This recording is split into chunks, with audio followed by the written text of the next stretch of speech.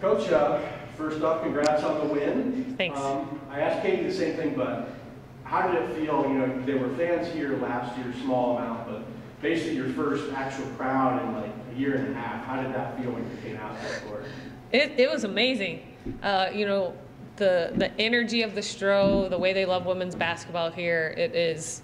Um, I just think our, our student athletes get an incredible experience. Um, but I will say too, I have to get used to it because last year they could hear me all the time, and um, now obviously with with all our fans, it's a little bit harder. But that's a good thing.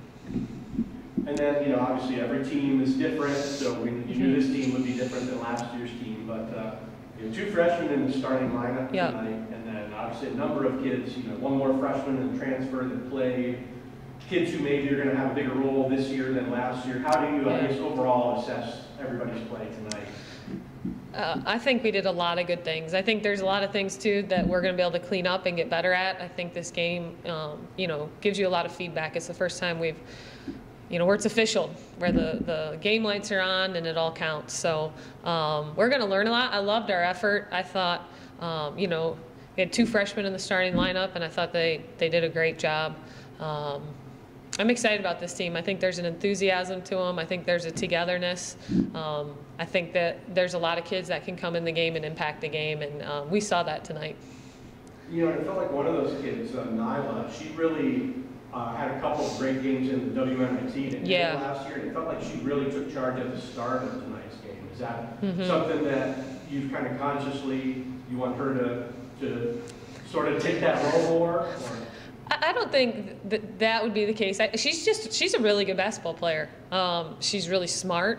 Uh, she's really skilled. Uh, I think her feel, her change of pace, her tempo are all things that um, make her a really unique and great basketball player. So I think part of it's just development. You know, she keeps getting better and better and better. And then probably the last thing I think I wanted to ask about was, you know, Katie, I mean, you've got a lot of kids that played a lot of minutes last year, but Yeah.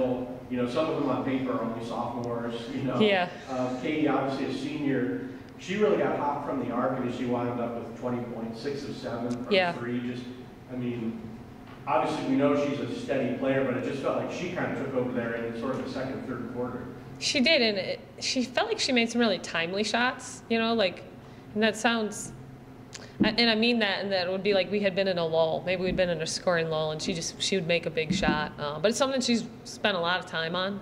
That's something she's really put work into to um, to become a good shooter, um, and that really helps our team. You know, we've asked her to play a lot of different spots. We've we've moved her around every year, um, and every year she's just done whatever the team needs, and and she keeps getting better. And then, uh, you know, you really not a ton of time rest because Sunday afternoon, a really Yeah. good Yeah. IUPUI comes in, team comes in here. Yeah. Just, I guess, thoughts on, you know, putting this one behind you and Mhm. uh, moving on from game one to game two on Sunday. Uh, yeah, that'll that'll be important. I mean, we know it's a pretty quick turnaround. IUPUI is a very very good basketball team. Um, we're going to have to learn, you know, and then obviously get prepared for a new team.